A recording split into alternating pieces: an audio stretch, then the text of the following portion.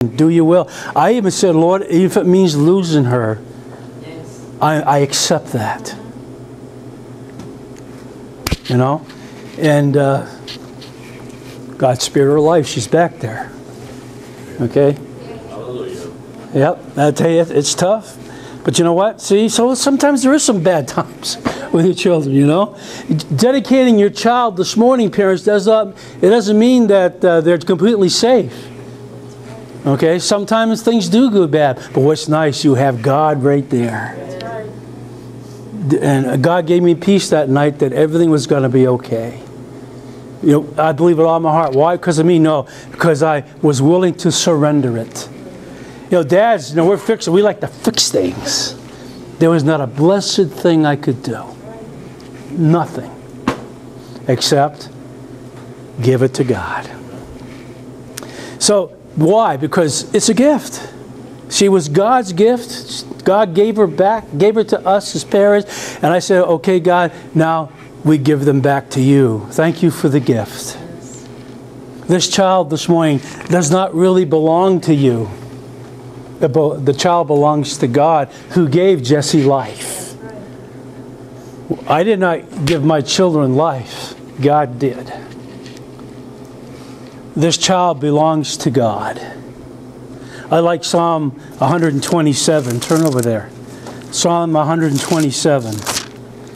Psalm 127. Beautiful psalm. Verse 3 and 5 says, Behold, children are a heritage from the Lord. The fruit of the womb is a reward. Like arrows in the hand of a warrior, so are the children of one's youth. Happy is a man who has his quiver full of them. I had, had a guy tell me well, Pastor, how much is a quiver? How many arrows in a quiver? I says, I don't know. I said, uh, I know some, I think. I had, I had a member, I've only pastored two churches in my life, one for 20 years in New York and then, and then starting this one. And I had a member of the church I pastored in New York for 20 years, and I, I told, she, they had 13 children. So I said, a quiver full is 13. so, so whatever it is, it's a quiver full. Happy is the man who has a quiver full of them. They shall not be ashamed, but shall speak with their enemies in the hands of God. What I like about verse 4, it says, Like arrows in the hand of a warrior, so are the children in one's youth. The Hebrew teaching is this. We, we as parents, all we can do is teach our children. Amen? We can teach them right from wrong, what to do, what not to do, and we train them in the things of the Lord. And after the training's done, the Hebrew teaching is that like an arrow. You put the bow in and you shoot it, and wherever it lands, it lands. See, once we train them, then it's their responsibility to do what is right and wrong. Amen? Children can never come back to their parents and say, oh, it's your fault. No, it's not. No, we've trained you. We've taught you right from wrong. What you do with it, it's up to you what you do with that training. Amen? Because one day, every child, every human being is going to answer to God. And every action we've done, every word we've spoken will be accountable to God. Okay? So, parents, that's why you train them and give them back to God. That releases you of the responsibility. We're responsible to keep training.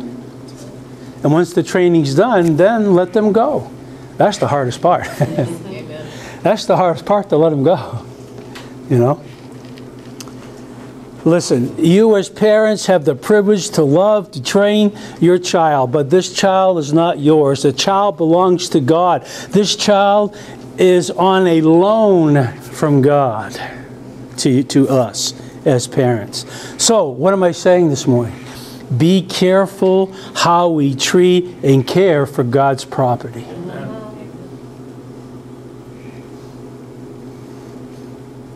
God did not, let me say carefully here, God did not authorize the state to raise your children. That's right. God did not authorize daycare centers to raise your children. Nothing wrong with daycare centers, don't misunderstand me, but they're not the ones that train your children. God authorized mom and dad to raise children. Amen? So it's our responsibility.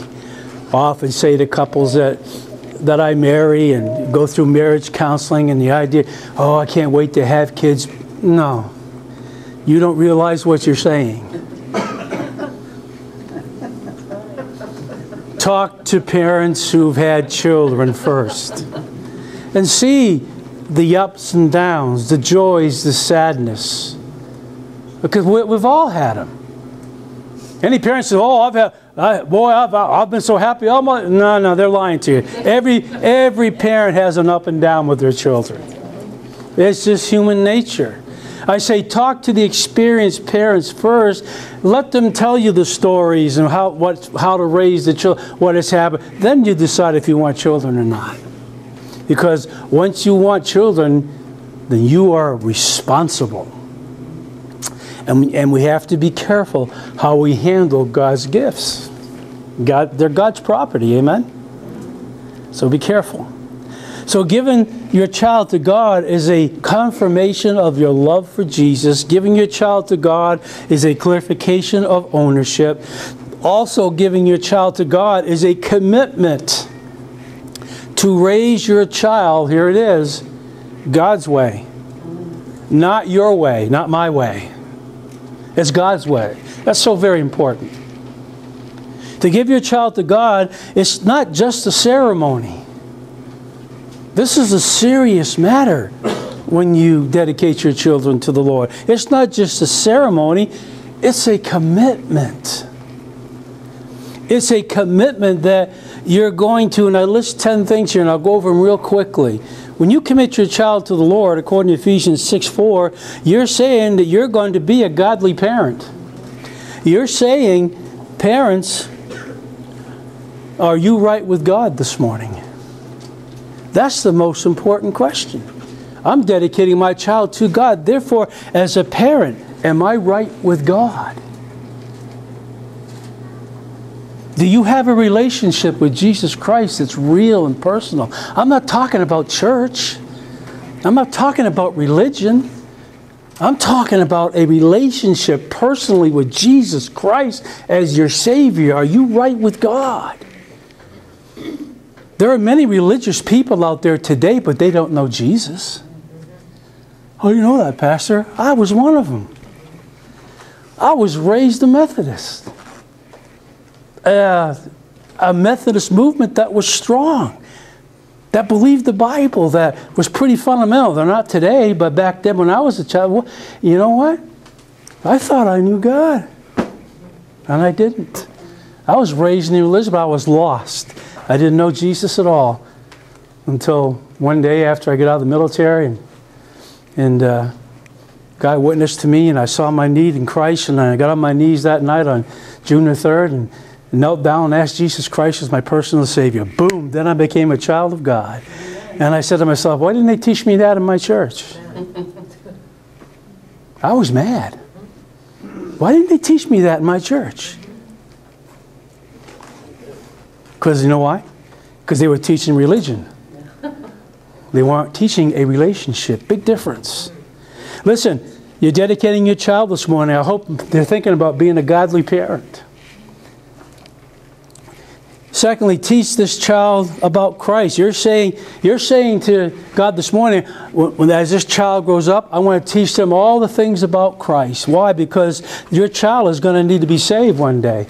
Your child is going to have to ask Jesus Christ, either receive him or to reject him. And you've got to teach him the things of the Lord. You've got to teach him about Christ and what Christ has done has died for him. Amen? Amen. That's a responsibility. Thirdly, as a parent, keep this child in church. You're promising God that this child's going to be faithful at church. What, what do I mean by that? Don't, do not send your child to church. Take them to church. I mean, if parents want to send their children to Bethlehem Baptist Fellowship, I'll gladly teach them the Word of God. Man, that's exciting. But I'd rather have them come. I'd rather have them come and take their children. And let them learn of Christ too. Amen? Amen. But that's what you're saying, that you're going to raise uh, Jesse saying, you know what? I'm going to be faithful to God. I'm going to be faithful in church.